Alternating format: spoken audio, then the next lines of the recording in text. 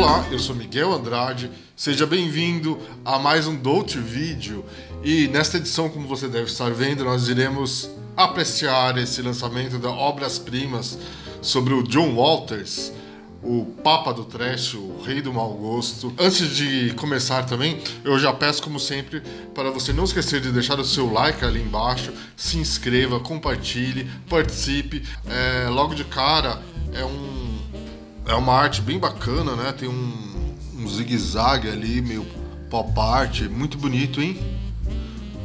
É da Obras Primas. Papel brilhante, né? Lembra muito aquelas, aquela edição da Marlene Dietrich e da Bette Davis que eu já mostrei aqui, né? Esse do John Walters está saindo agora, nessa semana. E bom, John Walters como um diretor independente, né, bem complicado os filmes dele no Brasil, né, sempre saíram por é, pequenas distribuidoras com qualidade nem sempre aceitável, né, e muitos filmes continuam inéditos. É, aqui na parte de trás, mais um padrãozinho, né, é, temos a descrição dos filmes, né, os filmes presentes e dos extras. É, no disco 1, Mamãe de Morte e Cry Baby, no disco 2, poliéster e problemas femininos. Apenas poliéster é inédito em DVD no Brasil, DVD e é, VHS, em qualquer coisa. Agora, todos os outros já haviam saído. Né? Mamãe de Morte, desde o VHS, né, ele saiu em várias é, distribuidoras, né, sempre com uma qualidade muito ruim. Então, pela primeira vez, nós temos Mamãe de Morte em widescreen. Né? E Cry Baby é, saiu pela Universal, né? É o único filme do John Walters para um grande estúdio. E Problemas Femininos saiu pela Continental junto com Pink Flamingos, né? E aqui embaixo tem a descrição dos extras.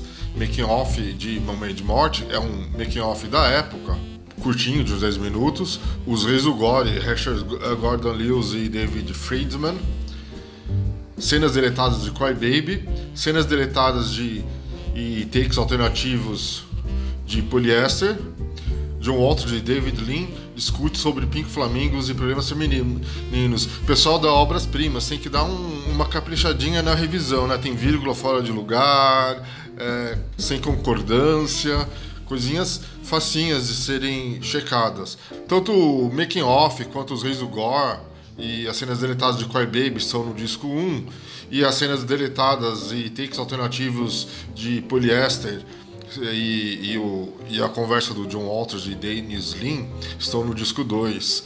É, de todos esses extras, o mais interessante, sem dúvida, são as cenas deletadas de poliéster. Valem ouro, é, ao todo é cerca de meia hora, e dá a entender é, que o filme seria muito maior, muito mais interessante também é, com alguns pontos que a gente meio que ficou sem entender no filme, porque as cenas foram deletadas. Por exemplo, cenas onde é bem claro que ela tem uma herança a receber, né? Que ela herdou a casa, que ela tem uma pensão de 2 mil é, dólares a receber do marido mensais, né? Que por isso a mãe iria ficar de olho.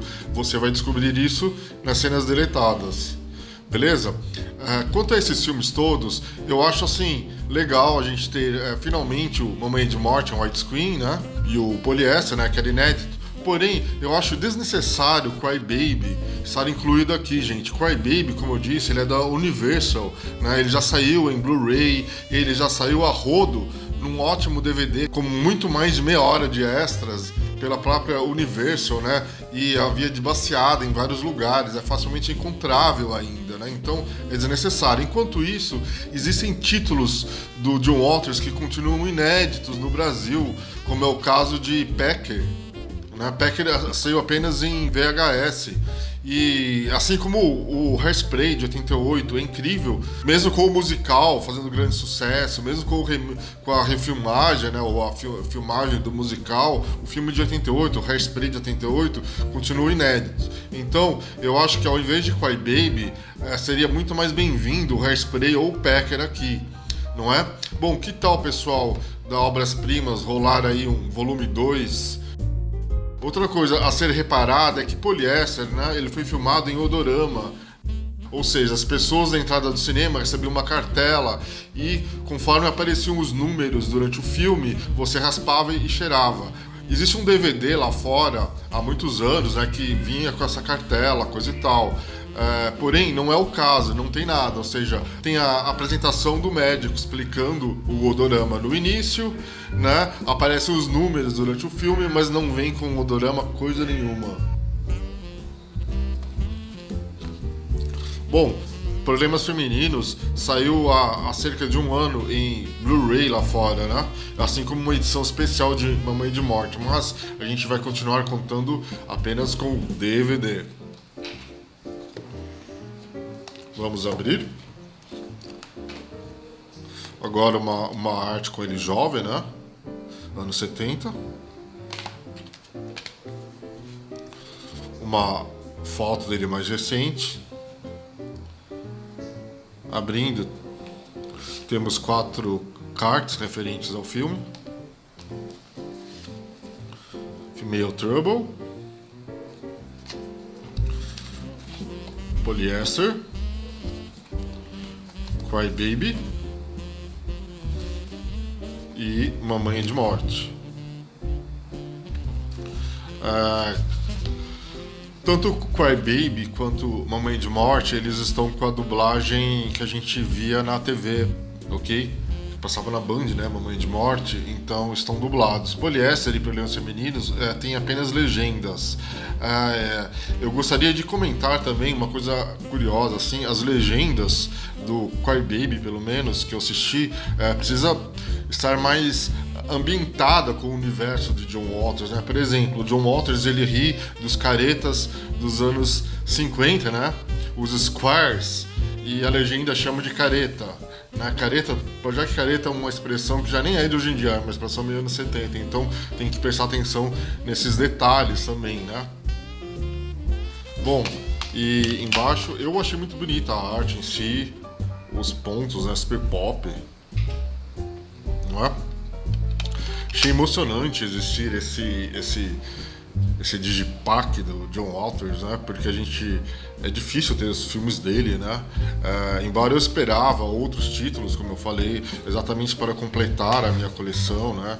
E é, principalmente o Cry Baby, né, gente? O Cry Baby aqui é super desnecessário, né? Bem algo que é, a gente já tem aos montes, né? Ok?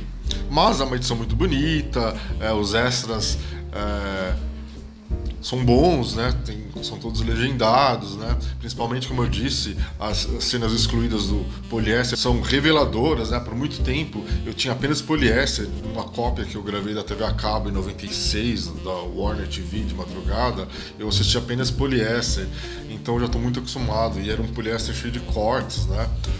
Então, poder ver ele, ter ele em widescreen, mesmo sem o odorama, sem a cartelinha do odorama, né? Mas ter ele em widescreen com uma boa qualidade, coisa e tal, legendado, eu fiquei bem contente, ok? Uh, vamos torcer para que vem aí um volume 2 e quem sabe eles incluam Becker, Hairspray e um filme que também nunca saiu aqui é o Desperate Living, né? É um John Walters inédito no Brasil, ok? Bom, uh, e é isso. Uh, está dado o um recadinho, né? Que é uma edição legal, porém, né, com essas observações a serem feitas. Eu já assisti quase tudo, né? Revi tudo de ontem para hoje, né?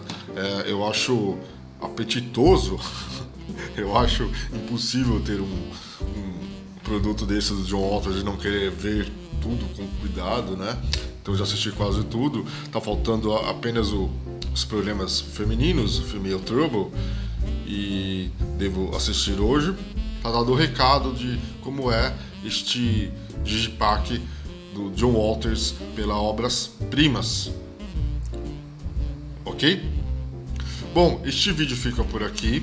É, volto a dizer, não se esqueça de deixar o seu like ali embaixo. Se inscreva no canal para outros vídeos, né? E a gente se vê no próximo vídeo. Até mais!